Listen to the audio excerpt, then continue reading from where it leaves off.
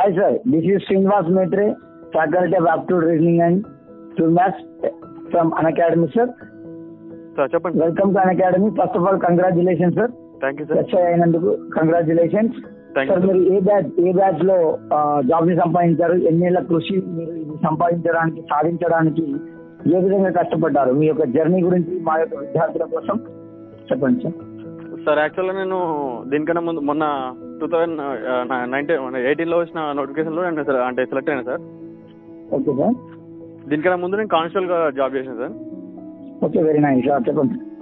కానిస్టేబుల్గా job చేస్తూనే అంటే కొద్ది రోజులు చేసిన తర్వాత నాకు మెయిన్గా డిసిగ్నేషన్ నచ్చలేదు. అంటే ఇట్ మీన్స్ కొంచెం నా నా టాలెంట్కి తక్కువ జాబ్ అనిపించి ఉద్దేశంతో నేను మళ్ళీ. బయటకు వచ్చి దీనికి ప్రిపేర్ అయినా sir very good sir very nice దీనిలో దీనిలో భాగంగా ఉద్యోగం నుంచి బయటకు వచ్చేటప్పుడు చాలా ఆటపోట్లు ఎదుర్కొన్నా సార్. అంటే ఇంట్లో వాళ్ళు కానీ సీనియర్ ఆఫీసర్స్ కానీ మనకి లీవ్ ఇవ్వకపోవడం కానీ ఇంకా ఇంట్లో వాళ్ళు కూడా ఎవరైనా సరే మా నాది బేసికల్గా పేద కుటుంబం. మా నాన్న రైతు. ఎస్ మా నాన్న రైతు నాది పేద కుటుంబం సార్. ఇంకా ఎట్లుంటుంది అంటే నేను నెల జీతం వస్తేనే నెల జీతం ఎంతో కొంత వచ్చింది కదా సరిపోతుంది కదా గవర్నమెంట్ ఉద్యోగం. ఇక చాలు ఇంకా మనం ముందు ముందు ఎందుకు అనే ఉద్దేశంతో ఇంకా ఆపేయమంటారు కదా సార్? వేరే చదవడొద్దు చాలు. చాలు. పెళ్ళి చేసుకో ఇక అంటారు కదా సార్? అయితే ఇవన్నిటిని ఎదుర్కొని నేను ఉద్యోగం నుంచి బయటకు వచ్చాను సార్ అట్లా. హార్డ్లీ కంగ్రాచులేషన్ సార్ అంత అచీవ్మెంట్ మీరు అన్ని ఆ, ఒడిదొడుగులను ఎదుర్కొని సక్సెస్ అయినందుకు thank you very much and all the best thank you sir sir రెండో విషయం ఏంటంటే సార్ ఇక్కడ ఈ ఈ టాప్ ఆఫ్ స్టాక్ అనేది ఎందుకు మేము స్టార్ట్ చేయడం జరిగిందంటే మీరు ఇంత కష్టపడి అంత సక్సెస్ సాధించారు కదా? సో అటువంటి కష్టాలు మా స్టూడెంట్స్ కూడా పడతారు. బట్ ఏంటంటే స్మార్ట్ ట్రిక్స్ అవసరం కదా. మీరు ఏవైతే స్మార్ట్ ట్రిక్స్ యూజ్ చేశారో సక్సెస్ అవ్వడానికి అటువంటి ట్రిక్స్ మీ వైపు నుండి మా స్టూడెంట్స్కి మీరు చెప్పదలుచుకుంటే మీరు చెప్పొచ్చు సార్ సార్ అయితే నేను కొట్టింది బేసిక్ బేసికల్గా ఎస్ఐ ఎస్ఐ లెవెల్ ఉద్యోగం. అంటే ఆఫీసర్ లెవెల్ ఉద్యోగం. దీనిలో మ్యాథ్స్ బ్యాక్గ్రౌండ్ ఉన్న వాళ్ళే ఎక్కువ దాదాపు సెవెంటీ సెవెంటీ ఫైవ్ పర్సెంట్ వరకు మ్యాథ్స్ బ్యాక్గ్రౌండ్ ఉన్న విద్యార్థులు వచ్చేసారు ప్రజెంట్ అయితే మా మా బ్యాచ్లో. ఆల్మోస్ట్ అన్ని అలాగే ఉంటుంది. అలాగే ఉంటుంది. ఎందుకంటే maths maths reasoning two two hundred marks మిగతా టూ హండ్రెడ్ మార్క్స్ ఉంటాయి కాబట్టి ఫిఫ్టీ ఫిఫ్టీ ఫిఫ్టీ ఫిఫ్టీ ఉంది మ్యాథ్స్లో. మ్యాథ్స్లో ఈజీగా వన్ ఎయిటీ వరకు స్కోర్ చేయొచ్చు. కానీ జిఎస్లో వన్ ఎయిటీ స్కోర్ చేయడం ఇంపాసిబుల్ ఒక సివిల్ సర్వీస్. స్టూడెంట్స్ కూడా వన్ ఎయిటీ స్కోర్ చేయడం అనేది ఇంపాసిబుల్.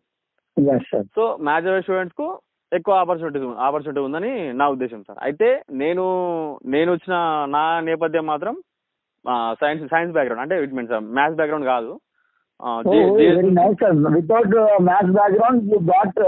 Very extraordinary, sir. అవును సార్ అయితే మ్యాథ్స్ బ్యాక్గ్రౌండ్ కాకుండా ఓన్లీ జిఎస్ బేస్ తోని ఎస్ఐ ఉద్యోగం ఉండడం చాలా కష్టం సార్ అంటే ఇది చరిత్రలో నేను ఒకసారి పబ్లిసిటీ చేయాలి సార్ ఖచ్చితంగా. ఎందుకంటే కేవలం మ్యాథ్స్ బాగా వచ్చిన వాళ్ళకి మాత్రమే ఎస్ఐఎస్ అనేది ఒక భ్రమ నుండి. జనాలను బయటికి తీసుకురావడానికి మీరు ఒక నిదర్శనంగా నిలవాలి ఇప్పుడు. అవును సార్ అవును sir yes yes right sir అయితే ఇప్పుడు మీరు అంటే ఇప్పుడు మ్యాథ్స్ అసలుకే రాకుండా జాబ్ అయితే కొట్టలేం maths- మనకి ఎంత కాబట్టి మీరు ఆ మ్యాథ్స్ని ఏ విధంగా ట్యాకిల్ చేశారు? అంటే షార్ట్ కట్స్ పైన డిపెండ్ అయ్యారా? ఏ విధంగా ట్యాకిల్ చేశారు? ఒక్కసారి మీ మాటలు మా విద్యార్థులకి. మ్యాథ్స్ మామూలుగా ఎంతో కొంత కొంచెం అయితే మ్యాథ్స్ వస్తుంది సార్. మరీ పూర్తిగా రాకుండా అయితే లేను. కాకపోతే నేను జిఎస్ జిఎస్ బేస్ తోనే జాబ్ కొట్టాను సార్ ఓన్లీ జిఎస్ బేస్. అయితే ఇప్పుడు. అయితే ఇప్పుడు జనరల్గా స్టూడెంట్స్ అనుకునే మెంటాలిటీ మన స్టూడెంట్స్ అనుకునే మెంటాలిటీ ఎలా ఉంటుందంటే మ్యాథ్స్లో షార్ట్ కట్స్ వస్తేనే మనం జాబ్ కొట్టగలము అనే ఒక ఒపీనియన్తో ఉన్నారు. అది మీరు ఎంతవరకు సమర్థిస్తారు సార్? మామూలుగా మ్యాథ్స్లో షార్ట్ కట్ వస్తే ఈజీగా తొందరగా ఆన్సర్ చేయొచ్చు. ఎస్ కానీ ఆ షార్ట్ కట్స్ మరి ఎక్కువ రోజులు గుర్తుంటాయా? మీరు ఎగ్జామ్స్ రాశారు కదా ఆ ఎగ్జామ్ అని ఒక నిప్పుల కుంపుటి పైన కూర్చున్నప్పుడు అన్ని షార్ట్ కట్స్ మనకు గుర్తొస్తాయా సార్? అంటే మీకు short cut conceptual short cuts ఎక్కువగా వర్క్ అయ్యాయా? మీకు లేదంటే కేవలం ప్రతి క్వశ్చన్ టు క్వశ్చన్కి ఏదో ఒక షార్ట్ కట్ అటువంటిది ఎక్కువగా వర్కౌట్ అయిందా మీకు? నేనేమంటున్నా అంటే షార్ట్ కట్స్ రావాలి కాన్సెప్ట్ తెలవాలి.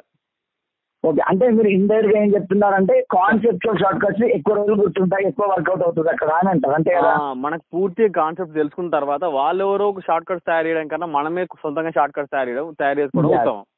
యాస్ అంటే ఇప్పుడు అంటే- షార్ట్ కట్ని కూడా యాస్ యాస్ అంటే ఇప్పుడు షార్ట్ కట్ని కూడా మనం కాన్సెప్ట్తో రిలేట్ చేస్తూ గుర్తుపెట్టుకుంటే ఎక్కువ రోజులు గుర్తుంటది సార్ సార్ నా ఉద్దేశం అబ్జల్యూట్లీ రైట్ సార్ ఆ. అయితే ఇప్పుడు మ్యాథ్స్తో పాటు జిఎస్ కూడా అంతే వెయిటేజ్ ఉంటుంది కాబట్టి మనం జిఎస్కి కూడా అంతే ప్రాముఖ్యత ఇచ్చినప్పుడు మనం ఇంకా ఈజీగా ఎస్ఐ ని క్రాక్ చేయొచ్చు. మీ ఆ. మాటలో మీరు చెప్పేది. ఇదే కదా సార్ అవును సార్ అంతే sir yes you are absolutely right sir అయితే ఇప్పుడు బేసికల్గా అందరూ ఆలోచించే విషయం ఏంటంటే మ్యాథ్స్ అనేది చాలా టఫ్ ఇప్పుడు జనరల్ స్టడీస్ అసలు పట్టించుకో ఎస్ఐలో జనరల్గా చూసుకుంటే జనరల్ స్టడీస్ని అందరు లైట్ తీసుకుంటారు. ఎందుకు?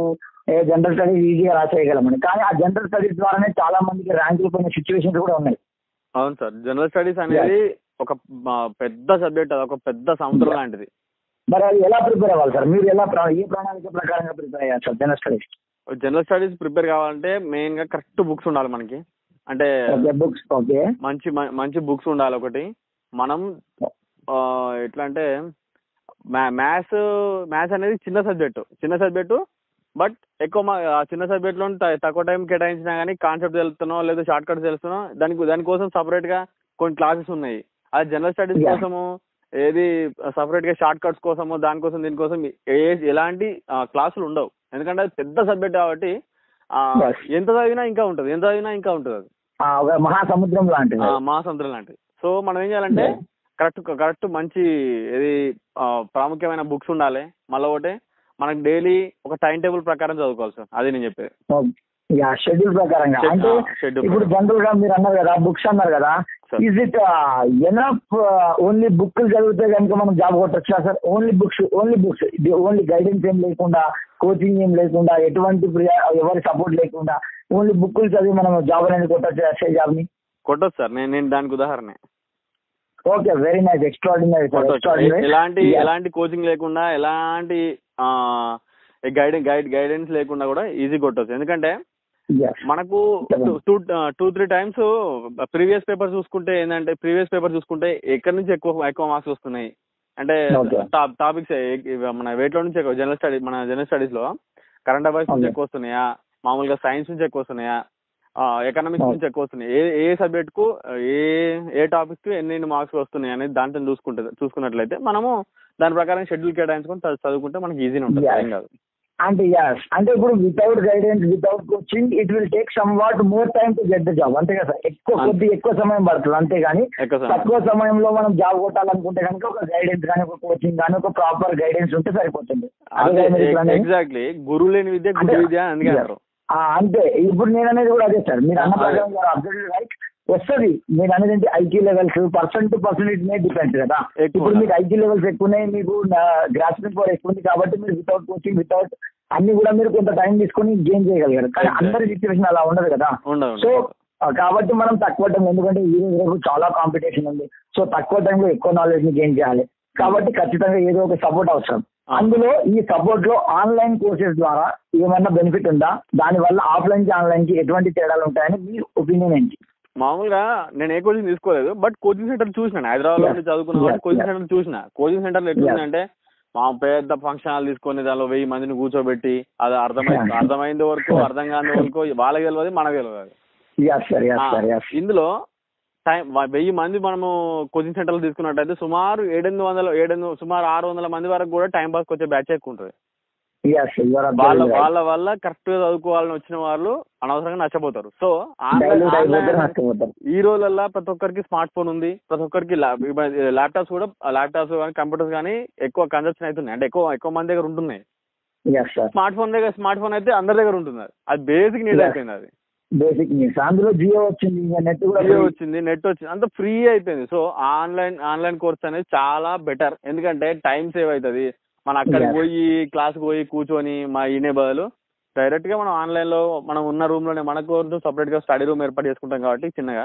ఆ స్టడీ. రూమ్లోనే హెడ్సెట్ పెట్టుకు చదువుకున్నా అని మనం అన్నిటికీ ప్రిపేర్ కావచ్చు. ఒక పీడిఎఫ్స్ డౌన్లోడ్ చేసుకుని ఒక నోట్స్ మంచి ప్రిపేర్ చేసుకోగలిగితే we can get the success very soon exactly yes sir thanks sir for giving your valuable suggestions మంచి చాలా బాగా చెప్పారు sir once again heartly congratulation sir Thank you. Thank you very much thank you sir thank you